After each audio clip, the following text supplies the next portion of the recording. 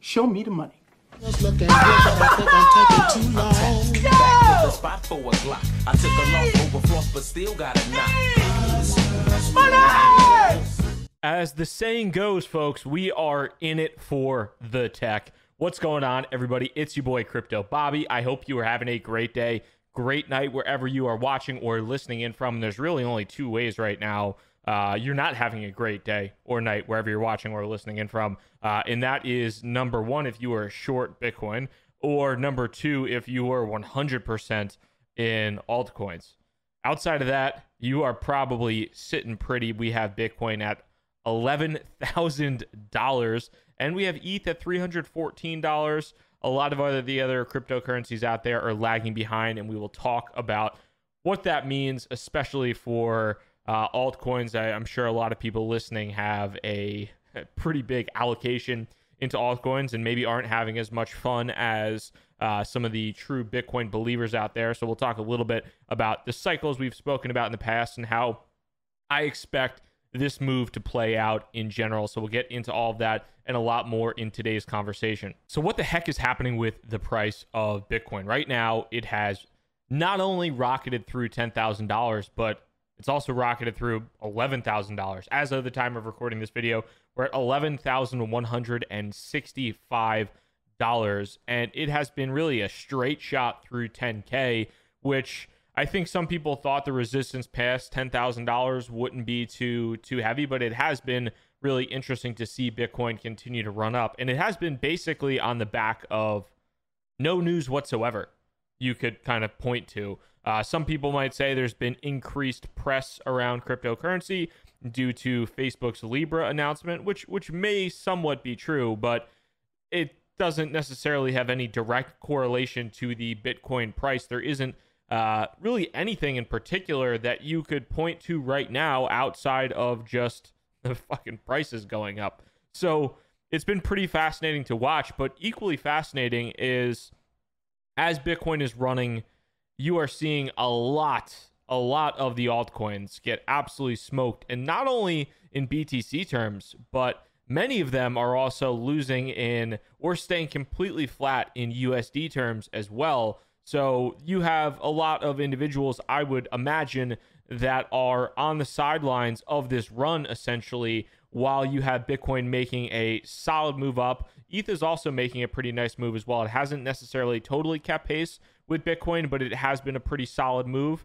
But you've seen the the major major caps like Bitcoin and Ethereum making solid moves with many of the others lagging completely behind uh, and and just completely falling back from a Bitcoin trading pair perspective. And as a reminder for people, I think it's it's interesting watching basically capitulation out of of altcoins right now. A lot of people who seem to have been holding what one might consider to be shitcoins for the better part of months. Uh, and now, as the price of Bitcoin has made 10, 15, 20% gains, plus um, at least in the past few days, their altcoins have have had equally large, if not larger, drawdowns on BTC pairs, uh, and they're selling off altcoins to chase the Bitcoin rally. And at some point in time, you know that might be a that might be a good thing to do. Uh, but trying to time the tops and the bottoms of Bitcoin is, I think, a pretty difficult thing to do but the cycle itself is what is of interest to me and kind of always has been. And I think we're going to see that cycle come into play again. We've talked about this before on the channel, but it is always good for a refresher in case anybody's missed it. But I think this is one of the best examples of the kind of BTC to altcoin cycle and, and how it typically works because we're seeing it happen obviously in real time right now. So Chris Burniske had said this in the past. This was in in early May, and there was there have been a few mini cycles that have happened in the past. There was even a mini cycle really that happened in May with a good amount of altcoins. But I think that we are on the precipice of seeing a very large BTC run and a continued sell off of altcoins, and then seeing what had happened in 2017, early 2018 when those altcoins made the move. A lot of that was basically on the on the on the back of fresh lows from those altcoins, and they absolutely crushed up through. So as I'm looking at this and as I'm looking at positioning, this cycle is is important to me to, for, for me really to keep in mind. So Chris Burniske says basically here's here it is. Here's the cycle. Bitcoin rallies hard, which it is doing right now. The majority of altcoins drop as Bitcoin is the main liquidity provider to crypto right now, and no one wants to sell BTC. Nobody's selling BTC right now. Bitcoin's rallying hard. You have the majority of the altcoins are dropping. The value of alts in BTC terms is then dropping until whales choose to cycle into altcoins. Right now, people are cycling out of altcoins into Bitcoin. You can see that from a from a fresh fiat perspective, and you can also see people selling their altcoins, cycling out of altcoins into Bitcoin, trying to chase the run up as we've broken through ten thousand dollars, gone on to eleven thousand dollars. Then he goes on to say whales have whales cycle from Bitcoin into the altcoins because they're depressed. Pick your pick your random shitcoin. Those alts rally harder than BTC did because they are higher risk gaining in BTC terms. I also think personally it's because they're a lot less liquid. So a little bit of money into an altcoin goes a long way as far as fresh liquidity into the market. Uh, and then Chris says the wh- the whales then cash their alts out for more BTC than they started with, so they make BTC.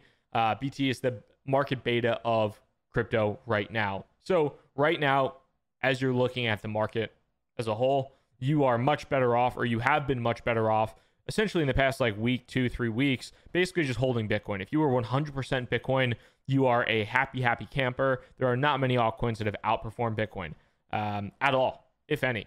And when you look at what's happened in the past few days, especially as Bitcoin has broken through that psychological barrier of $10,000, you've seen people immediately go on to places like Binance and all the other exchanges and just cashing out their their altcoins back into Bitcoin, which is also, I believe, pumping up the price of, of Bitcoin slightly. And another thing that people have spoken about a little bit, I don't think it's a major impetus for the change, but uh, Binance closing out US registration. So people are also selling altcoins, at least that are directly on Binance and don't have a pair anywhere else, selling those altcoins for BTC and maybe moving them uh, or getting out essentially of of the exchange as a whole. I think the argument that you could make against this cycle is that people are smarter and they realize that there are and is not much intrinsic value, if any value, in the vast majority of, of altcoins. If you look at many of the tokens out there, especially a lot of the ERC20 tokens, um, they are basically nothing more than faux equity uh, and don't really have any true utility. So you could easily make an argument that you know people have learned this time around and they're not going to necessarily buy into random hype around tokens that are somehow going to change the world uh, and be the next Uber of uh, you know chicken farming in Malaysia for uh, you know ERC20 token. I don't I don't know the most ridiculous example possible, but I don't think the market has advanced much since the bull run of 2017, 2018, psychologically speaking, I think it is still a highly, highly speculative market. I think there is no doubt about that. Um, yes, individuals have have learned and been, you know, become more intelligent about, I think, the way that they approach things.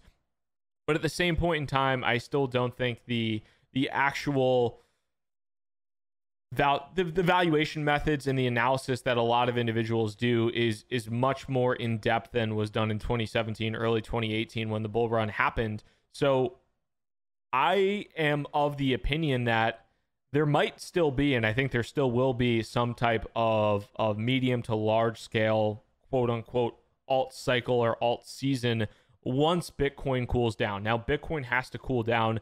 I don't see alts going up with Bitcoin in terms of uh, Bitcoin value. I just don't think that there's enough money in the market.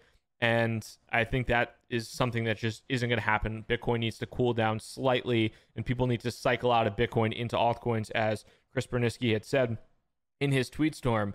And one of the interesting things I think that's happening right now when you look at just the market as a whole is it doesn't seem like the hype and the media and the mass mania is where it was in 2017. Uh, you know, for those of you who are around in, in late 2017, early 2018, the the mass media, the the the media hype, even like the the the downloads on YouTube and the podcasts and all those types of things, it was incredible. The numbers were massive. Um, I'm still not seeing that yet. I haven't seen it yet. I don't think that there's this new, you know, flood and rush of individuals back into crypto. It seems to me, like a lot of it is still kind of the existing money that's been in the ecosystem. And and some people have you know looked at their Coinbase account for the first time in months and been like, oh wow, maybe I'm even up. Um, but it doesn't seem like we we've gotten there yet. So I don't think we're at that you know crazy mania phase that we've gotten to before. And to that point in the past, you know, where if people have gotten burned so badly with crypto that hey maybe they're you know they're never going to come back into to this type of market they're no longer believers or don't you know think it has any value whatsoever i think that's a possibility. But when i look at the market being basically totally speculative a lot of things when i when i think about it is human nature is how are people going to to learn about the how are people going to learn about the industry? How are they going to want to deploy capital once they find out about uh, you know potential quote unquote investments in the crypto landscape. And i still do think that you're going to have bitcoin run and it might cool off for a little bit right now but i think bitcoin will continue to run up into the future. And as people see bitcoin run massively when they look at bitcoin potentially run they're w- going to want to find the next bitcoin.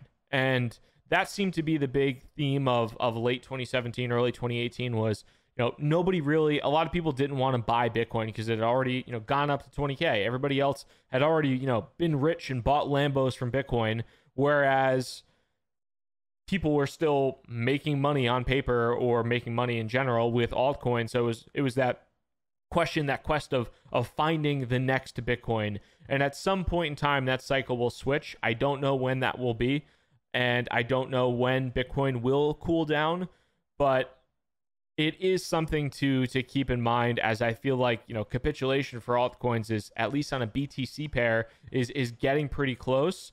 And when that happens, when you know when you kind of least expect it, I feel like that's when the the shit coins start pumping. And the interesting thing too, when you have these when you have these pumps with a lot of the altcoins, is you know, you might lose 50, 60% against Bitcoin in a week.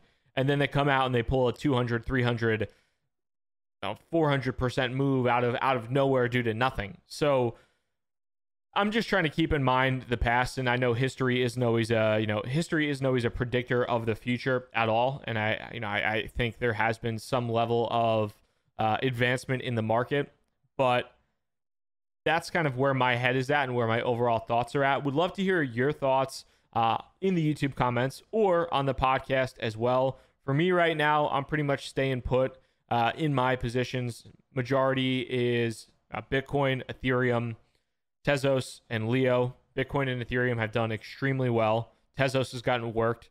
Leo has gotten worked. But when I look at both of those, uh, both of those, both Tezos and Leo, I kind of when I'm thinking about altcoins getting smoked, I think about I am not going to capitulate out of them for the time being because I think they both have the potential to make big moves when Bitcoin does cool down if we do see some type of quote unquote alt season. So that's where my head's at in total. Would love to hear your thoughts in the comments or on Twitter if you're listening on the podcast at crypto underscore Bobby. Thank you so much for your time. Crypto Bobby signing out. Hope you have a good one. Peace.